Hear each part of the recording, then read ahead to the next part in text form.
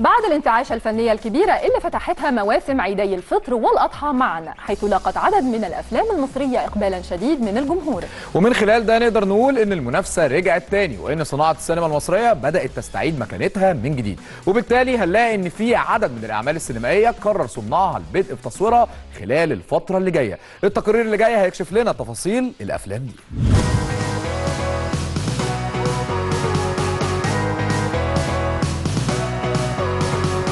بعد النجاح الكبير اللي حققه الموسم السينمائي في عيد الأضحى يستعد نجوم الفن لبدء تصوير أعمالهم السينمائية الجديدة.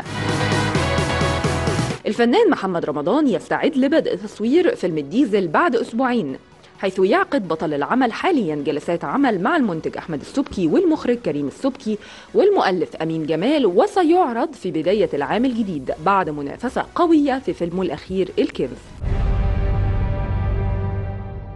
أما الفنان محمد رجب فيواصل جلسات العمل مع المخرج محمد حمدي لبدء تصوير فيلمه الجديد بيكيا وتحدد يوم 20 سبتمبر الجاري موعد مبدئي لبدء التصوير. ويعد هذا الفيلم عودة للتعاون مجددا بين رباعي فيلم سالم أبو أخته للنجم محمد رجب حيث تولى كتابته محمد سمير مبروك وأنتجه أحمد السبكي وأخرجه محمد حمدي. وكانت آخر أفلام محمد رجب فيلم صابر جوجل الذي نافس به في العام الماضي. حبيبي دي وعد الله جيب فايف كده. الفنان خالد الصاوي يدخل المنافسة السينمائية بفيلم اطلعوا لي برا الذي يتعاون فيه مع المخرج وائل إحسان ويستعدان لبدء تصوير المشاهد الأولى من الفيلم في الأيام القريبة القادمة.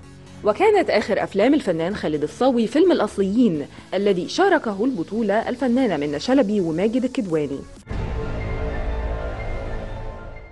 وفي ثاني تعاون لهما بعد نجاح فيلم جحيم في الهند يستعد الفنان محمد عادل إمام لبدء تصوير فيلمه الجديد شمس وقمر. مع الفنانة ياسمين صبري ومن إخراج شقيقه رامي إمام.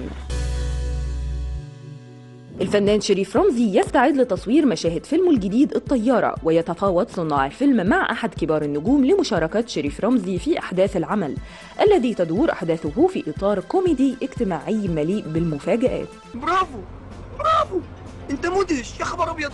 لا لا لا انت من النهارده صديق. وفي عودة قوية له في عالم السينما يواصل الفنان رامز جلال تصوير مشاهد فيلمه الجديد رغدة متوحشة ويشاركه في البطولة ريهام حجاج وهو من تأليف لؤي السيد وإخراج محمد كريم. وكانت آخر أعمال رامز جلال السينمائية هو فيلم كونغر حبنا مع الفنانة سارة سلامة.